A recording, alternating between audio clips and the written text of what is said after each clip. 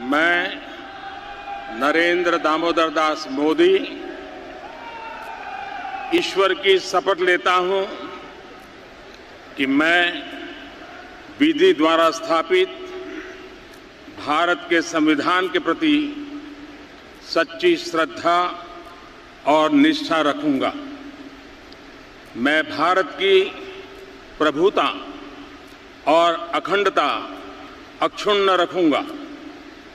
मैं संघ के प्रधानमंत्री के रूप में अपने कर्तव्यों का श्रद्धापूर्वक और शुद्ध अंतकरण से निर्वहन करूंगा అందరితో కలిసి సబ్కా సాత్ సబ్కా వికాస్ అంటూ రెండు వేల పంతొమ్మిది ఎన్నికల్లో భారీ మెజారిటీతో రెండోసారి గద్దెనెక్కిన నరేంద్ర మోదీ సర్కారు శనివారంతో ఏడాది పాలన పూర్తి చేసుకుంటుంది ఈ ఏడాది కాలంలో భారతావనిపై చెరగని ముద్ర వేస్తూ ప్రభుత్వం పలు కీలక నిర్ణయాల్ని తీసుకుంది. కొన్ని వర్గాల నుంచి వ్యతిరేకత వ్యక్తమైనప్పటికీ చారిత్రక తప్పులను సరిదిద్దుతున్నామని చెబుతూ పాలనా పగ్గాలు చేపట్టిన మొదటి వంద రోజుల్లోనే సాహసోపేత చర్యలకు శ్రీకారం చుట్టింది. చివరి నెలల్లో కరోనా విరుచుకుపడినప్పటికీ మహమ్మారి బారి నుంచి దేశాన్ని కాపాడేందుకు చర్యలు చేపట్టింది. నవ భారత నిర్మాణమే లక్ష్యమంటూ మోదీ ప్రభుత్వం సాగించిన ఏడాది పాలనను అవలోకనం చేసుకుందాం.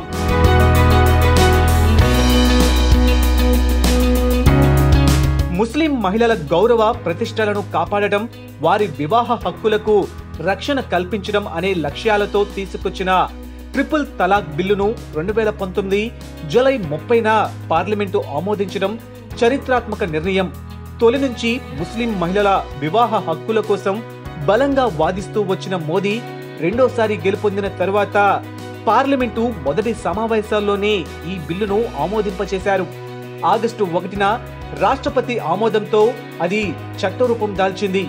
దీని ప్రకారం ముస్లిం వివాహిత వ్యక్తి మూడు సార్లు తలాక్ చెప్పి భార్యను వదిలించుకోవాలని చూస్తే అది నేరం. మూడేళ్ళ వరకు జైలు శిక్ష విధిస్తారు. ఈ బిల్లు ఆమోదించినప్పుడు కొన్ని పార్టీలు వర్గాల నుంచి వ్యతిరేకత వచ్చినా మొత్తం మీద ముస్లిం మహిళలకు న్యాయం జరిగిందన్న భావన వ్యక్తమైంది.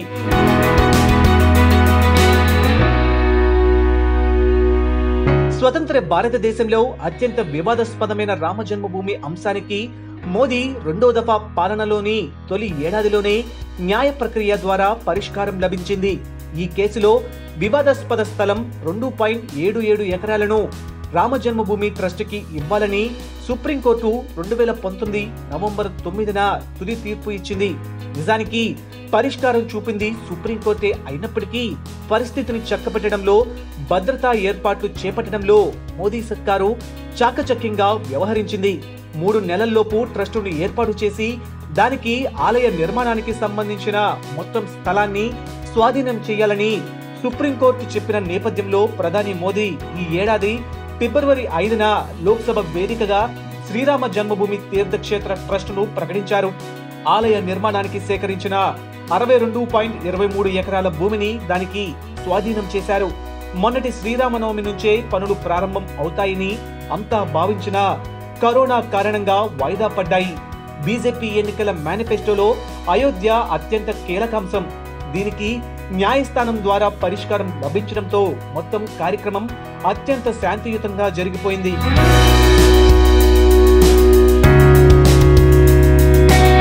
చరిత్రలో నిలిచిపోయే కొన్ని తేదీల్లో రెండు వేల పంతొమ్మిది ఆగస్టు ఐదు కూడా ఒకటి. ఏళ్ళ తరబడి రాచపుండలా నలుగుతున్న సమస్యకు శాశ్వత పరిష్కారానికి నాంది పలికిన రోజది.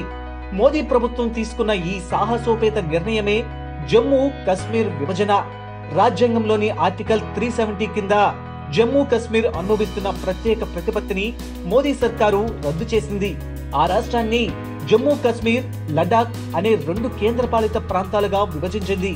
ఈ బిల్లులను మూడో కంటికి తెలియకుండా హోంమంత్రి అమిత్ షా ఆగస్టు ఐదున రాజ్యసభలో ప్రవేశపెట్టి ఆమోదం పొందేలా చాకచక్యంగా వ్యూహం అమలు చేశారు. మరుసటి రోజే లోక్సభ ఆమోదం పొందారు. దీంతో జమ్మూ కాశ్మీర్కు రాజ్యాంగం కల్పించిన ప్రత్యేక హోదా పోయి దేశంలోని మిగతా రాష్ట్రాలతో సమానంగా నిలిచింది. జమ్మూ కాశ్మీర్ భారత యూనియన్లో సంపూర్ణంగా విలీనమైంది. భారత చట్టాలన్నింటినీ అక్కడ అమలు చేయడానికి మార్గం ఏర్పడింది.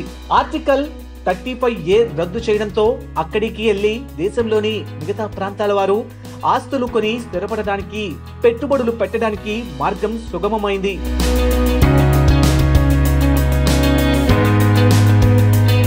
అంతర్రాష్ట్ర నదీ జలాల వివాదాలపై మన దేశంలో పంతొమ్మిది వందల అరవై రెండు నుంచి ఇప్పటి వరకు తొమ్మిది ట్రైబ్యునళ్ళు వేశారు. వాటిలో నాలుగు మాత్రమే లక్ష్యాన్ని సాధించాయి.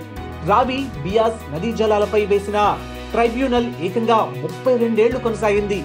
ఇలాంటి జాప్యాన్ని నివారించడానికే సంబంధిత చట్టాన్ని మోదీ సవరించారు. ఇకపై దేశమంతటా ఒకే ట్రైబ్యునల్ ఏర్పాటు చేస్తారు. ఈ సంస్థకు ఒక వివాదాన్ని పరిష్కరించడానికి గరిష్టంగా మూడేళ్ళు గడువిచ్చారు.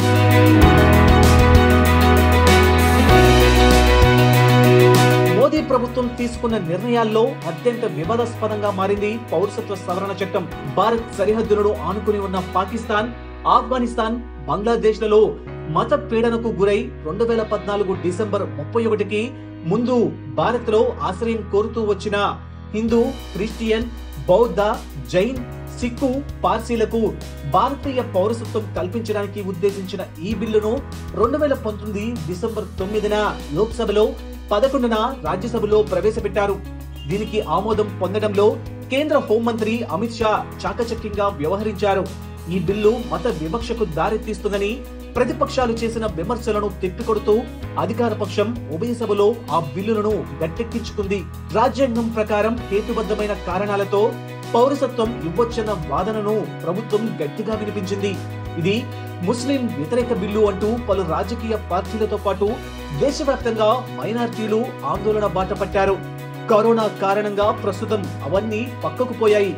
ఢిల్లీ షహీన్ బాగ్లో జరుగుతున్న నిరంతరం ఆందోళనలను విరమించాల్సి వచ్చింది.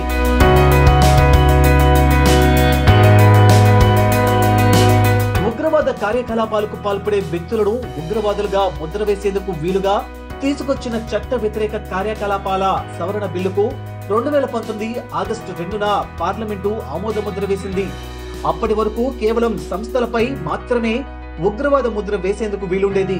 ఈ సవరణతో వ్యక్తులను కూడా ఉగ్రవాదులుగా గుర్తించి అలాంటి వారిని విదేశాల నుంచి సైతం రప్పించే అధికారులను భారతీయ వ్యవస్థకు అప్పగించారు. మన దేశ విజయం కోసం ప్రార్థిస్తూ మీకు మరోమారు ప్రణమిల్లుతున్నా మీకు మీ కుటుంబానికి నా హృదయపూర్వక శుభాకాంక్షలు. ఆరోగ్యంగా ఉండండి సురక్షితంగా ఉండండి అప్రమత్తంగా ఉండండి తెలిసి నడుచుకోండి. మీ ప్రధాన సేవకుడు నరేంద్ర మోదీ గత ఏడాది కాలంగా చేపట్టిన వివిధ సంస్కరణల గురించి ప్రధానమంత్రి నరేంద్ర మోదీ సుదీర్ఘ లేఖ రాశారు.